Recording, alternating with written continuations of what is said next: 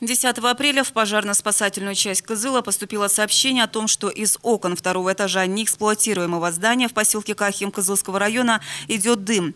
На момент прибытия пожарных на втором этаже здания открытым пламенем горел мусор. Также огонь уже успел перекинуться на внутренние стены, потолочное перекрытие и оконные проемы на общей площади 100 квадратных метров. Силами пожарных огонь был локализован. Здание на данный момент не эксплуатируется, было приобретено в 2014 году.